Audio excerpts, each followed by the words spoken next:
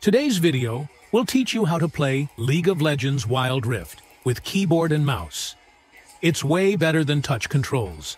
You'll get that true PC gaming feel. Works for other MOBAs too. Let's look at how it works. Right-click to walk. Click anywhere to move there. You can also hold right-click to move. Press S to stop. Let's try targeted skill. Hold the skill key, use mouse to aim. Release the key to cast, achieving precise targeting. If you don't want to cast, just click the spacebar to cancel the skill. Even basic attacks can be precisely aimed. Wherever the mouse is, that's where the circle will be. Let's try moving while casting skills. A quick burst of combo skills feels very natural. Let's look at vision control. Hold G key. Move mouse to check surrounding area. Hold M key for full map view. Moving on to setup, let me show you how to configure it. First, go to k2er.com to download and install K2er. You'll need to activate it on first use. Just follow the steps. It works on any Android system, including tablets. Get your input devices ready. All keyboards and mice work. If using Bluetooth devices, pair them in System Bluetooth settings. If using wired devices, you'll need a USB hub. Plug wired devices into the hub and connect the hub's USB-C cable to your phone. The hub needs to be powered. Use HDMI to TV if supported. Alternatively, install K2er PC version, connect phone via data cable, and use Screencast. This bridges keyboard and mouse to phone. If experiencing high latency, switch to control-only mode. Once everything is ready, add the game to K2ER. Click Game icon to enter config details.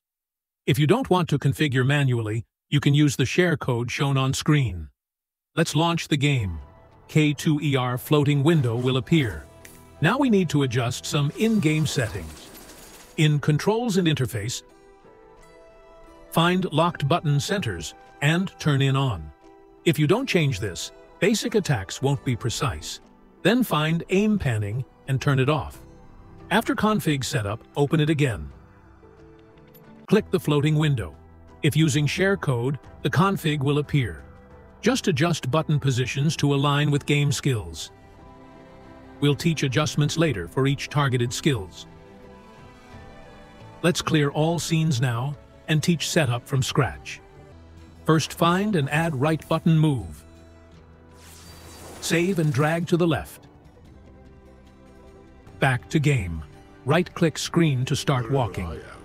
But movement direction doesn't match mouse position, and walking distance is too short. Let's adjust settings.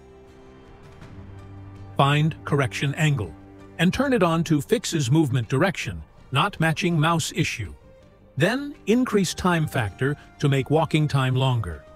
This relates to phone screen size. Adjust as needed. Test in-game again. Now the movement perfectly matches mouse position. Next add a MOBA skill key. Set a shortcut. Save and drag to skills area.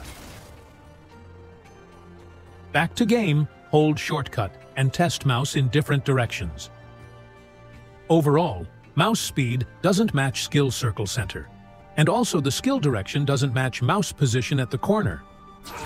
Go to detailed settings. Find virtual radius.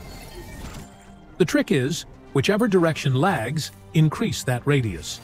If mouse is too fast, decrease it. Find correction angle option and enable it. Try again. Now all directions match. All other targeted skills can be set up the same way.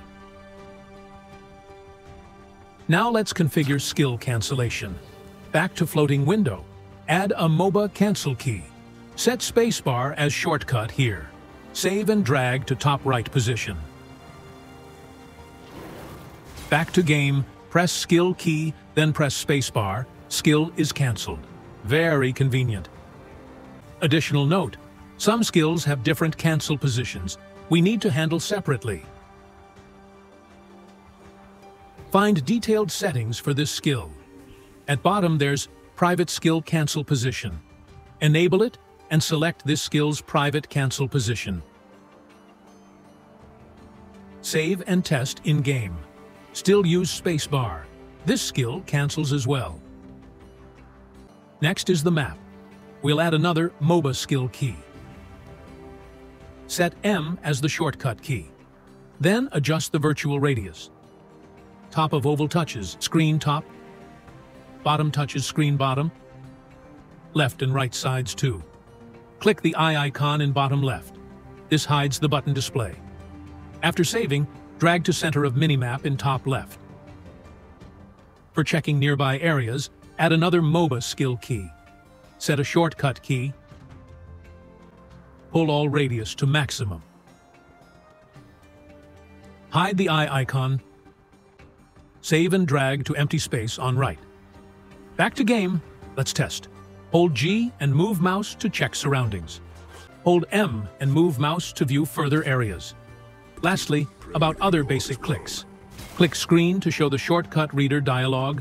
Press keyboard key to input. Combination keys are supported. Set up each key one by one. And for different champions, in scene settings, copy the current scene and fine-tune. Alright, this is how to play League of Legends Wild Rift with keyboard and mouse. K2er mapping has many more features to explore, including playing shooter games with keyboard and mouse. With K2ER's configuration, you can basically replicate PC controls. Finally, please subscribe to our channel. Support us in making more gaming tutorials.